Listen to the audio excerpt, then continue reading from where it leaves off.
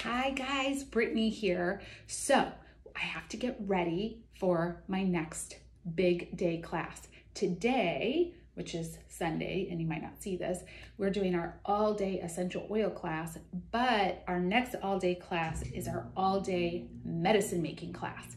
It is awesome because you get to learn how to make herbal tinctures, uh, fire cider, um, we make an herbal bitters, we make a Schisandra wine. Oh my gosh, what else do we make? So many fun things.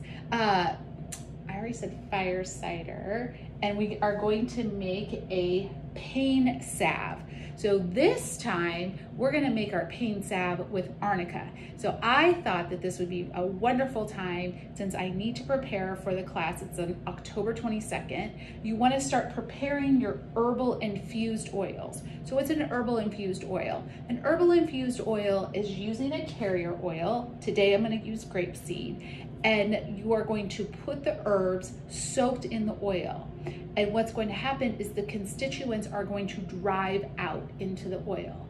Now let's be clear. You can't just go into my herb store, pick any herb and make a therapeutic essential oils. There's traditional herbs that we use like comfrey, calendula, arnica, St. John's wort. Some of them need to be fresh, some of, some of them can be dried. So for this pain oil that is amazing, we are going to use dried arnica. I already put this in here because arnica flies all over the place and it's like a hot mess. We're also going to put in, so this is a cup. We're also gonna put in a quarter cup of chaparral.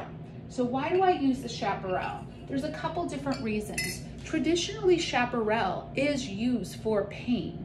Um, also, it is very antiseptic, so we use this for my other salve that we make in our all-day body care making class, that we make a general salve for healing.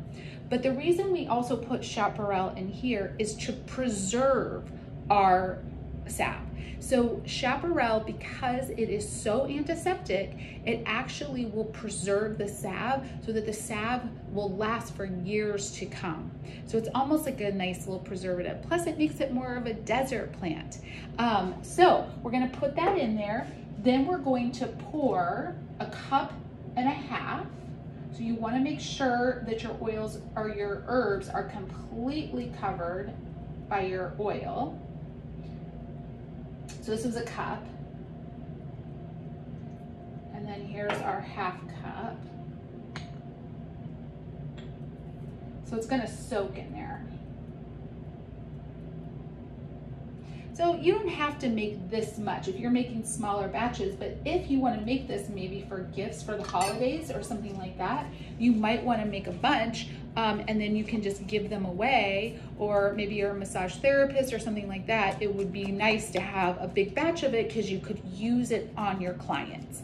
So now I'm just shaking this. So I'm just macerating it a little bit so you can see um, that the oil is on top of there. Now, if this sucks up some of the oil, we can always go in and just put a little bit more oil. But as I can see it right now, there's a, enough oil on top of it. But I'm going to definitely watch it and make sure that the arnica doesn't suck up the oil and we need to put a little bit more.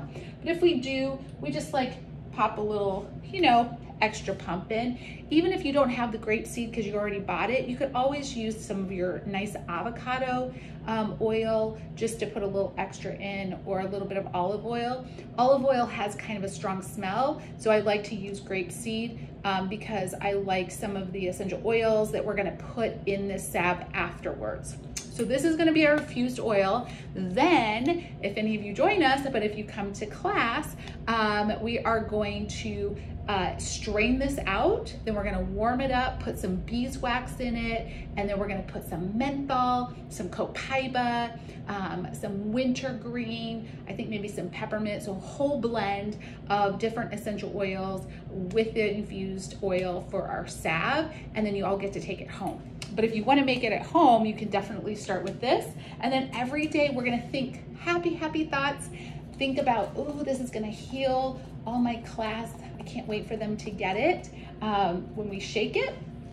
And just remember, always, always, always put a label on it, right? And always put the date too, which I did not do, which I will do.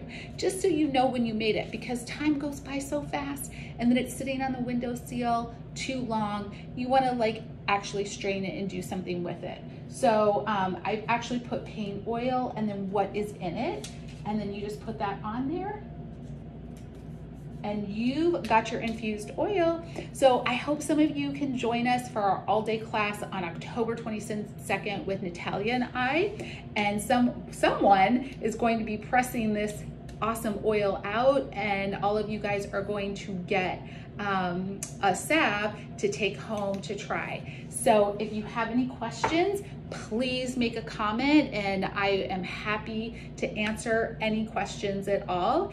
Thank you for joining me and happy, well, I'm sure it'll be Monday, but for me right now, happy Sunday. Okay, have a great day. Bye.